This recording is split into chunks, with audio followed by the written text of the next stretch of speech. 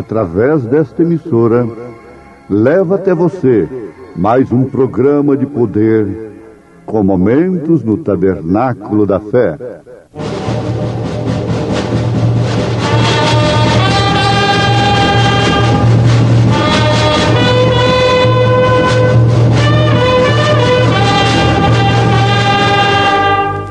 Fé para vencer.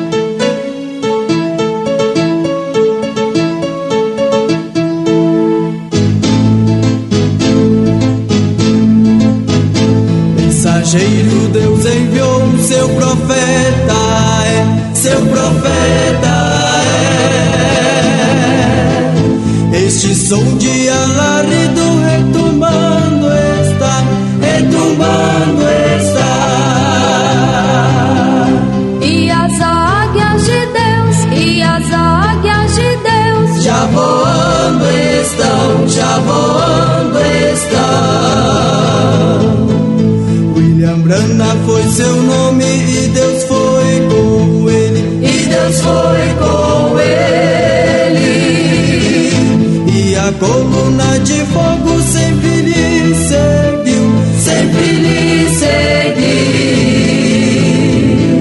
A palavra ele pregou, a palavra ele pregou. Com fidelidade. Visto como o seu divino poder nos deu tudo que diz respeito à vida e piedade, pelo conhecimento daquele que nos chamou por sua glória e virtude, pelas quais ele nos tem dado grandíssimas e preciosas promessas, para que por elas fiqueis participantes da natureza divina, havendo escapado da corrupção que pela concupiscência há no mundo.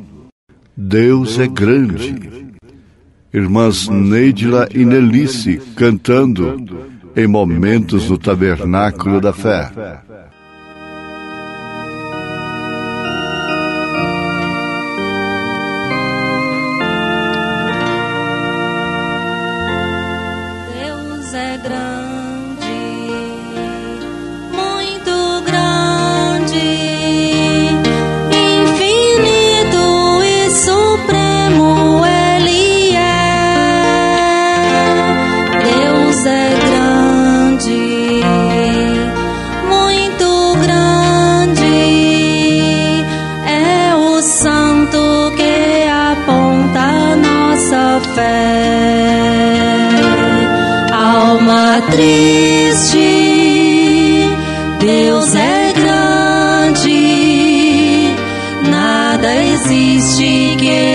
Supere o seu poder.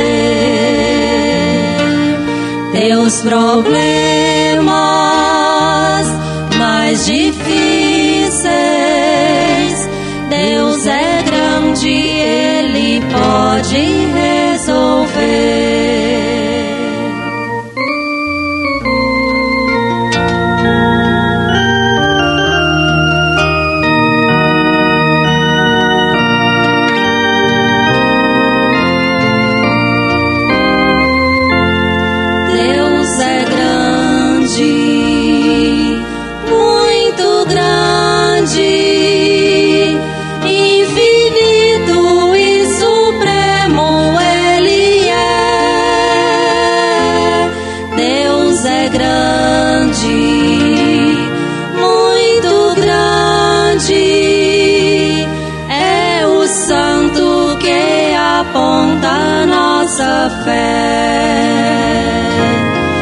alma triste, Deus é grande, nada existe que supere o seu poder.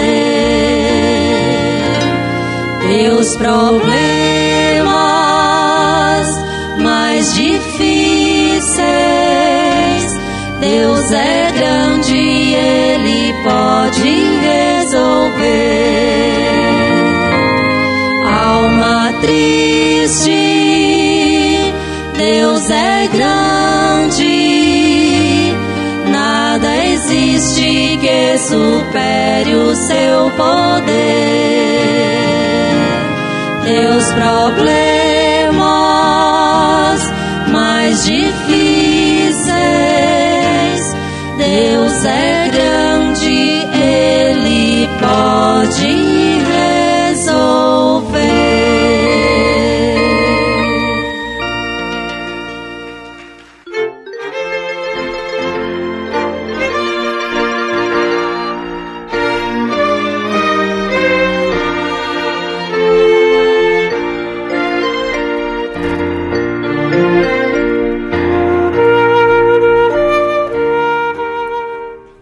Imagino que os apóstolos não se portavam como nós.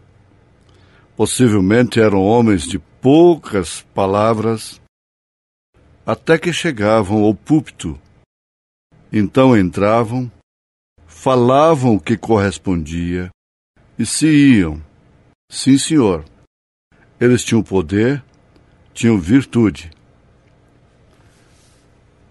Quando falamos mais com Deus, falamos menos com os homens. Ouvintes, sem dúvida alguma,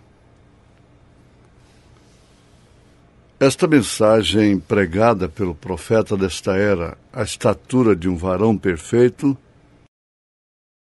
tem a ver com o nosso arrebatamento. Agora, arrebatamento é uma coisa muito ignorada pelo mundo. Por que não dizer pelo mundo evangélico, pelo mundo cristão? É a maior promessa de Deus para o seu povo. Porque o arrebatamento é precedido, inclusive, pela ressurreição daqueles que dormiram durante as eras. Nós temos escrituras para isto. Não é um, um pensamento de escola, de faculdade, de teologia. É um fato revelado a todos quantos estão dentro do plano do arrebatamento e que partiram daqui dentro deste plano. Por isso estão escalados, reservados para a primeira ressurreição. Você vê em Apocalipse capítulo 20 que bem-aventurados são aqueles que participam da primeira ressurreição. Em 1 Coríntios capítulo 15, 1 aos Tessalonicenses, capítulo 4, nós encontramos referências outras na Bíblia Sagrada que testificam daquilo que estamos vos falando. Mas Jesus profetizou. Exatamente nessa época quando fosse aproximando os dias do arrebatamento, então o mundo sofreria um batismo como aquele que ele sofreu nos dias de Noé, como aquele que ele sofreu nos dias de Ló. Ora, Jesus foi profeta por excelência se as palavras dos profetas menores em relação a Jesus Cristo nunca falharam e jamais falhará, quanto mais as do Senhor Jesus Cristo. Passarão os céus e a terra, mas a sua palavra não passará. Ele disse que é assim Assim seria e, portanto, assim está sendo. Como foi nos dias de Ló, como foi nos dias de Noé. O povo estaria voltado exclusivamente para o reino terreno. Aí ele fala de construir, edificar, casar-se, dar-se em casamento. Quando fala em Sodoma, o mundo perdeu completamente a noção do que é sodomismo, porque virou uma Sodoma e Gomorra. Existiu no Código Penal brasileiro o crime de sodomismo. Hoje ainda é crime? Ainda é crime? Agora veja se Sodoma e Gomorra reconheceu que seus cidadãos eram sodomitas. Veja o reconhecimento que o povo civilizado antediluviano teve a respeito de si mesmo. Por isso pereceram, queimados por isso pereceram afogados. A terra que agora existe está reservada como tesouro para o fogo. Profecia do apóstolo São Pedro.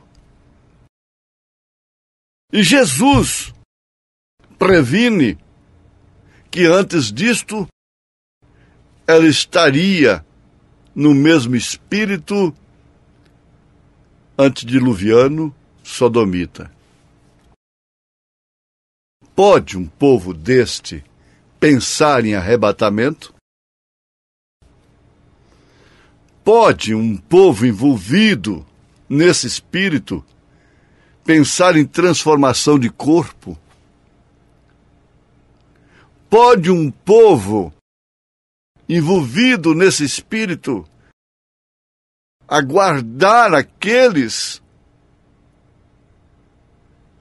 que estão esperando por nós para serem ressuscitados? Não. Não, absolutamente não.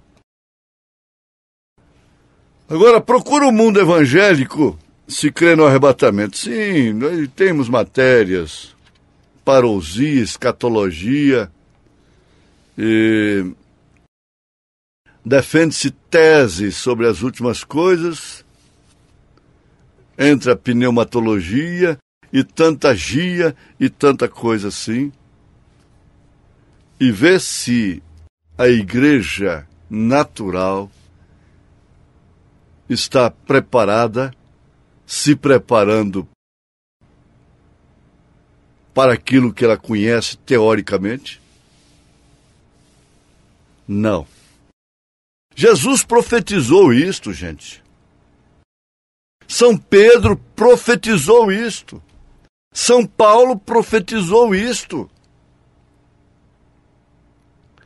Aqui não vai nenhuma mensagem de um tabernáculo, de uma igreja, de um segmento religioso, para formar um grupo maior não. Isso está envolvendo realmente um povo mínimo, um povinho, que está atinando para estas profecias, para a hora em que estamos vivendo. E, normalmente, a vida dos apóstolos, a vida da igreja primitiva é uma bússola para este povo. Ora, nós não temos a capacidade de nortear a nossa posição geográfica, ou seja, onde estamos dentro de uma mata, num deserto, numa planície, num valado, seja onde for. Mas temos uma bússola. A bússola nos norteia. através da estrela do norte. Então ela nos oferece os pontos cardeais: norte, sul, leste, oeste, até suas minúcias, suas frações, seus graus. A capacidade não está em nós, no indivíduo, está na bússola. O mérito não está no homem, está na bússola. E essa Bíblia sagrada, revelada como foi para nós agora, é uma bússola precisa, infalível, que não, não precisa de GPS. Ela não falha. Os apóstolos são dados pelo profeta desta era como bússolas. Ele diz: Imagino que os apóstolos não se portavam como nós.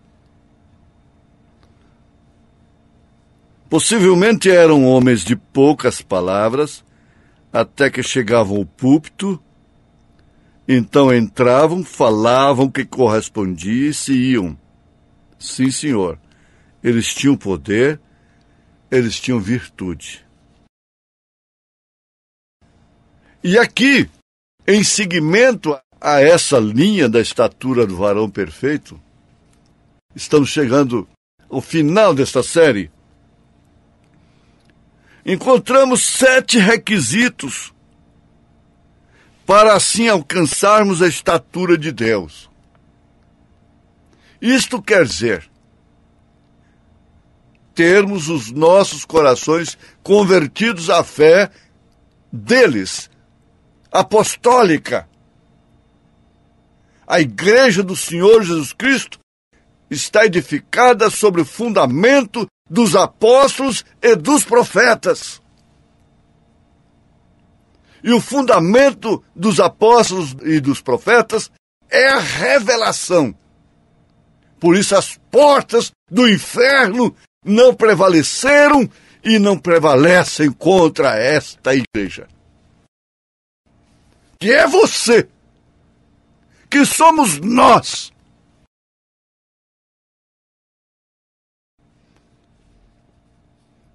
Agora, quando Pedro escreveu, o nosso amado apóstolo Pedro escreveu a sua segunda epístola, logo no primeiro capítulo, ele falou dessas virtudes, sete requisitos para alcançar a estatura de Deus, e disse: aquele em quem não há essas coisas é cego, nada vendo ao longe. Isto quer dizer, não pode ser revelado. Então, caros colegas, companheiros e irmãos, nós que estamos sustentando esta bandeira, não podemos definitivamente sermos homens sensíveis que se abatem com críticas, com perseguições, com incompreensões, com coisas mal entendidas. Não. Nós temos uma missão que os apóstolos desejaram estar nela agora. Os profetas desejaram estar aqui nesta era, que é a pior de todas, a Laodiceia, que para começar tem um significado: mulher e direito dos povos. Sete requisitos e isso estão relacionados com as sete eras da igreja.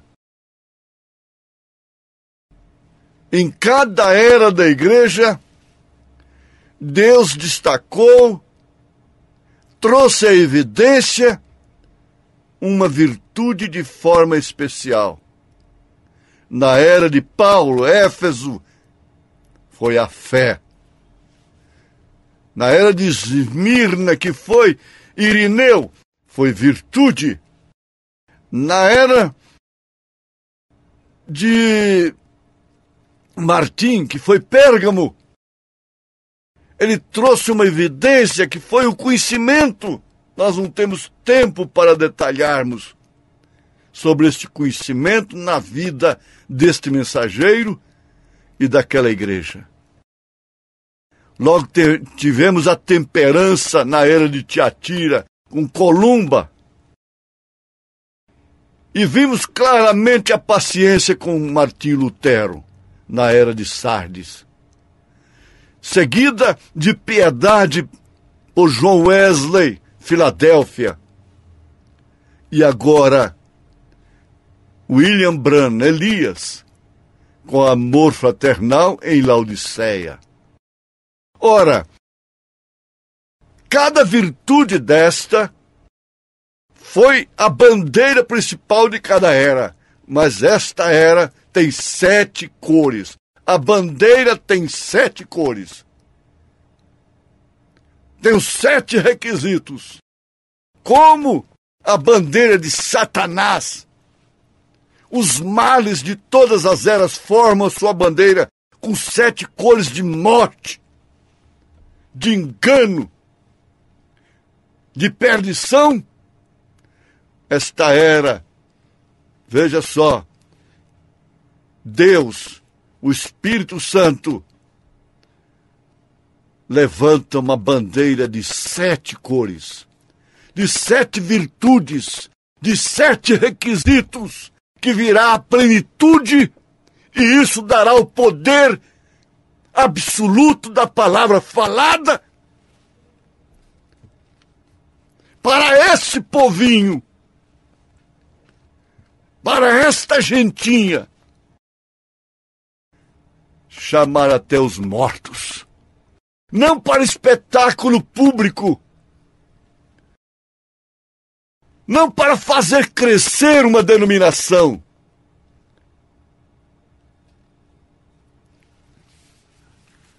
Mas para a grandeza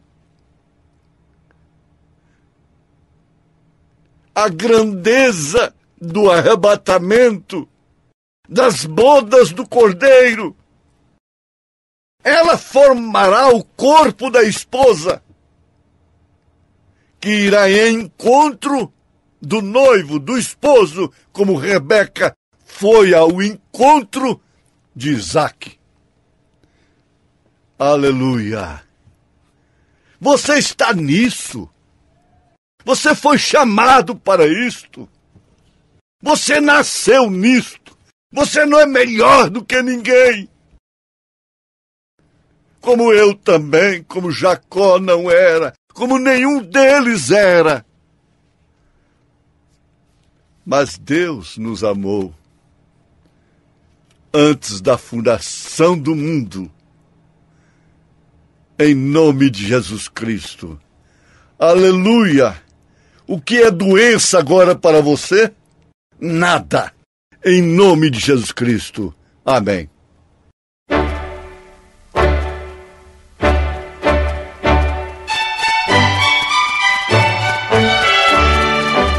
Ouvintes, escreva-nos pela caixa postal de número 15020. 15020. CEP 74 501 970 Goiânia, Goiás. O nosso endereço na internet é www.apalavraoriginal.org.br. Volte a nos ouvir amanhã novamente neste mesmo horário, nesta emissora, se o Senhor nos permitir, com fé no Filho de Deus, a fé que vence o mundo. Que nos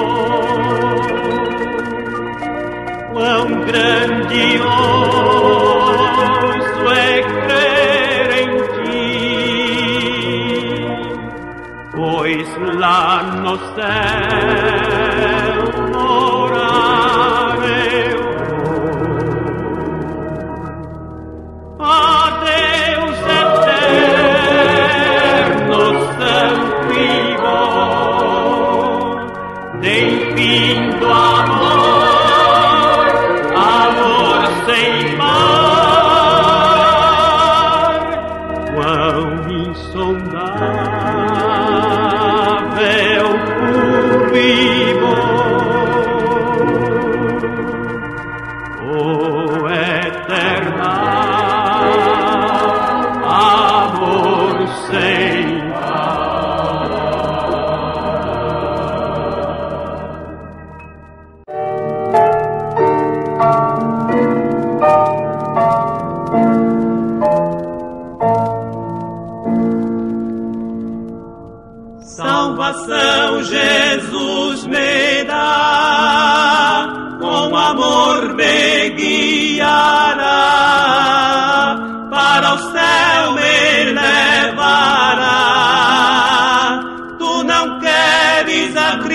Christos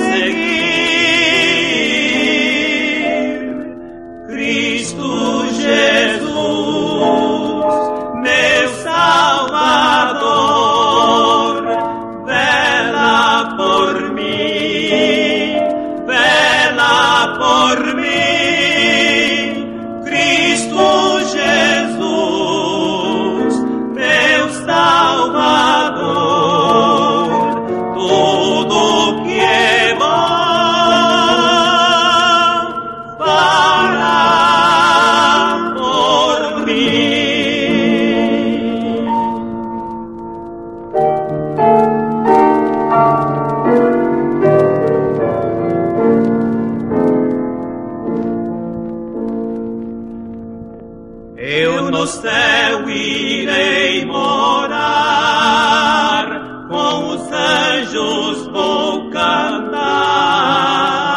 a Jesus irei louvar. Tu não queres a Cristo, Senhor.